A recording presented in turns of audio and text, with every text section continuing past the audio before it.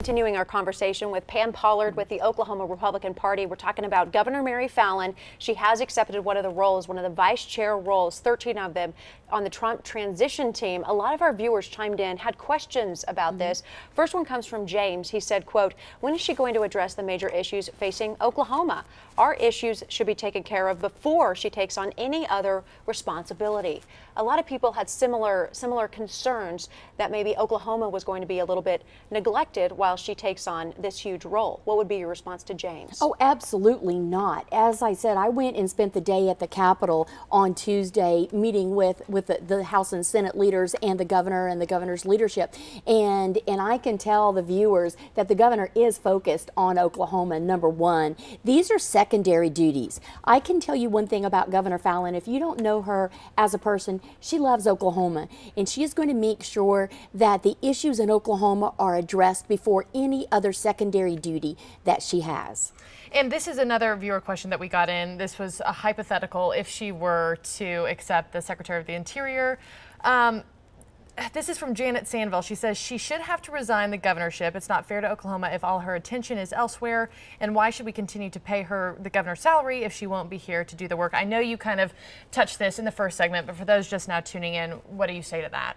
Oh, she will absolutely resign as governor. Number one, she will have to move to D.C. if she does take the Interior Secretary. That is a huge position huge mm. to be running major organizations and major agencies in the United States of America and our territories. So she she would resign if okay. that position is offered to her. And we are hearing that she's potentially at the top of the list. So we'll continue to track that very closely for the Secretary of the Interior. But Governor Mary Fallin, not the only Oklahoman whose name is being tossed around here. I mean, we're talking about T.W. Shannon, Harold Hamm, Scott Pruitt, our Attorney General. We were talking uh, during the break, and we can't recall a previous administration where so many Oklahomans were being mentioned for these huge yeah positions. Can you recall a time like this? And I mean, just no. so many Oklahomans. I didn't even mention all of them. And you said a lot of White House staffers. We're we're going to have some Oklahomans in the White House staff. We're going to have uh, we're going to have a, a large contingency of Oklahomans that are going to be advisors uh, to the president and advisors to maybe some of the the cabinet members. Um, so you know, again, this is about Oklahoma pride. We should all. This isn't Republican or Democrat. This is about the type of people that, that we are that we are growing in Oklahoma and the vast experiences that you have to have to be um, an elected official in Oklahoma. We're a very diverse state. We're diverse um, not just with our citizens, but with our economy, even with our topography. From one side of the state, you're you're in the forestry, and the other side of the state, you're in the wheat plains. So, um, you know, I'm just proud to be from. I'm proud to be an Oklahoman. I'm originally from Orlando, Florida, and I can say I choose to live in in Oklahoma City and be an Oklahoman. Yeah, it's a good state to be a part of right it now is. for sure. Uh, but back to those names, you know, Pruitt, Harold Hamm, T.W. Shannon, what do you see is the likelihood of them serving on a Trump cabinet? I see a, a very strong likelihood um, that even if they're not appointed to the high level cabinet positions, I'm convinced that they are going to be very strong advisors in the administration. Um, uh, Terry Neese is another name that is, she's on the transition team as well.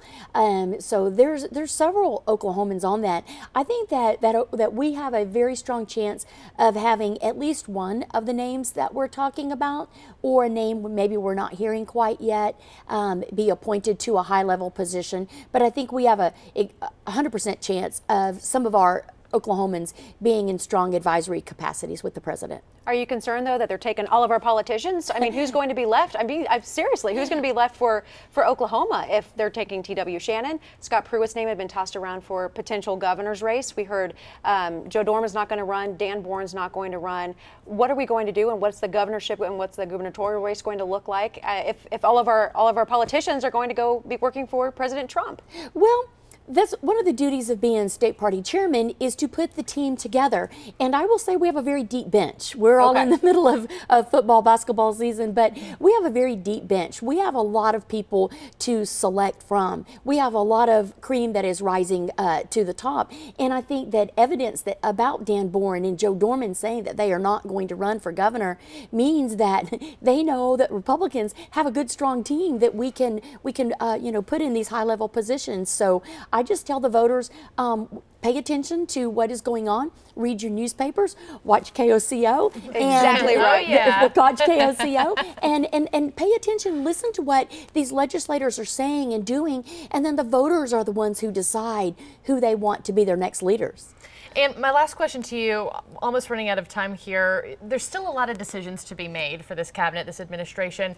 So far, with other choices that he has picked, Haley, Jeff Sessions, how do you see the the overall movement of where this presidency is headed? What, what's your overall thought here about the choices he's made and where we're going in 2017? Well, I think just when you look at who he is interviewing and talking with, I think everyone can see that Mr. Trump is is not trying to um, not trying to just uh, be very narrow-minded and only look at one thing.